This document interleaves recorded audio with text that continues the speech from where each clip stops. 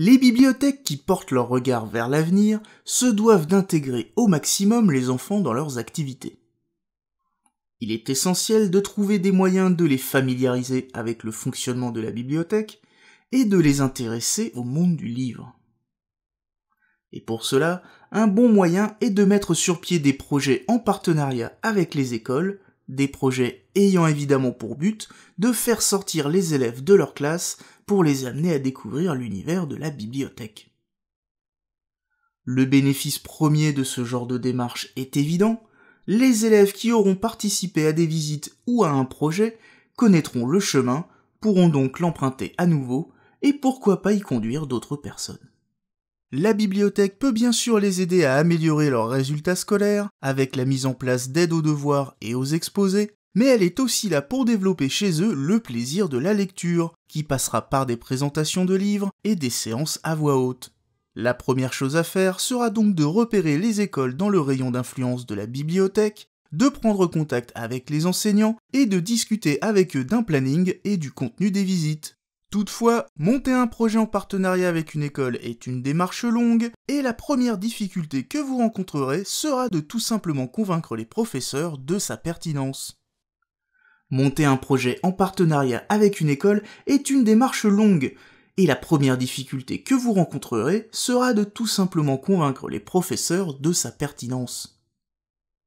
En effet, il n'est pas forcément facile pour un enseignant de faire sortir sa classe ou de faire appel à un intervenant, ne serait-ce qu'en termes administratifs, mais également sur le plan de la confiance. Bien souvent, il ne voit pas l'intérêt de dévier du programme scolaire, et il faudra donc faire valoir les bénéfices de votre projet.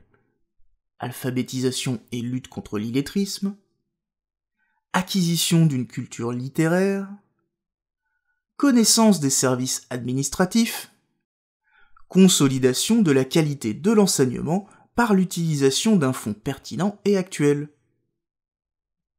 Vous devrez également le mettre en confiance par rapport à votre rôle au sein du groupe.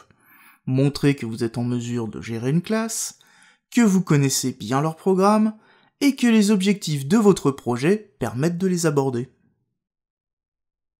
Bon, Maintenant que vous avez usé de vos pouvoirs de persuasion sur nos amis les enseignants, voyons quel genre de projet vous pouvez mettre en place avec eux. Commençons avec un exemple concret et particulièrement porteur, la classe bibliothèque. La classe bibliothèque est un projet qui permet d'intégrer une classe entière, de préférence de cycle 3, dans le fonctionnement de la bibliothèque pendant toute une semaine. Durant ce laps de temps, les enfants apprennent et exercent le métier de bibliothécaire dans la totalité de ses facettes.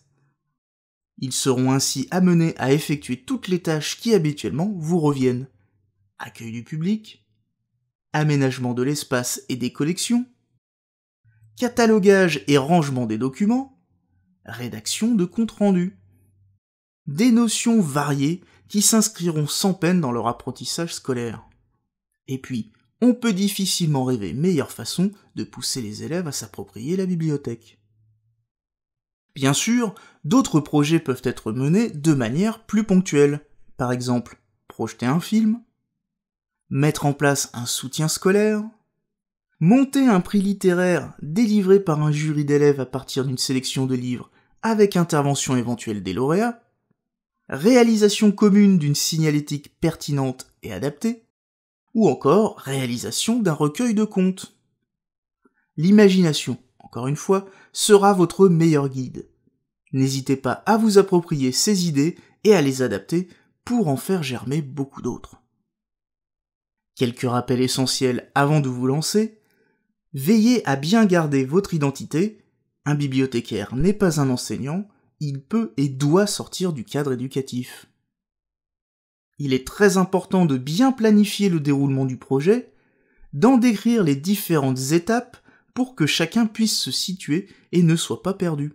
Et les rôles de chacun doivent être précisés pour qu'il n'y ait pas de confusion. Pour ce qui est de la prise en charge financière, si le projet implique des dépenses, un document officiel devra être signé par les autorités concernées, autrement dit la direction de la bibliothèque et la direction de l'école, afin d'en préciser les modalités. Il ne me reste plus qu'à vous souhaiter bonne route et surtout bon projet.